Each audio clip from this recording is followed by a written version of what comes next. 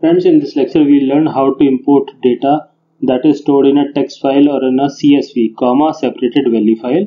We have prepared a sample file for you. If you can see here, a file is a, text file and this is separated by, you can see space in between. There is space in between these data items. So let us work on this and import this file.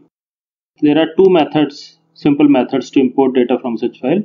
The first method is we'll go here on data tab and in the first it is saying give get data.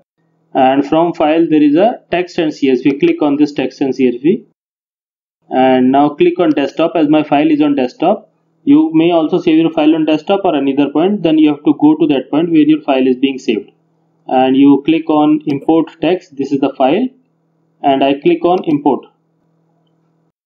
You see now it has automatically imported this data. It is you can see automatically separated but just for sake of understanding we'll select space here so that we understand data is separated by space.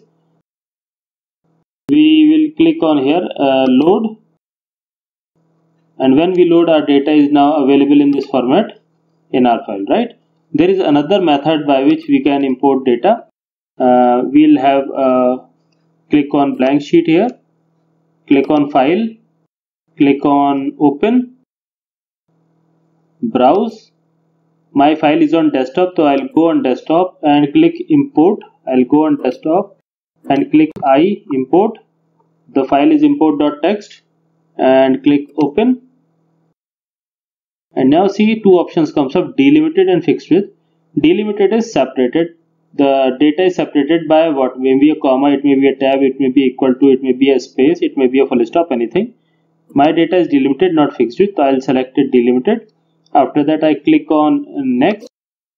And then you see space is already ticked up here. Uh, if it is a comma you can click on comma or it can click on others or anything whatever the separator is between the data. And then you click on next. And after that you click on finish. And you see the data is imported here. So these are two simple methods by which you can import a data into your excel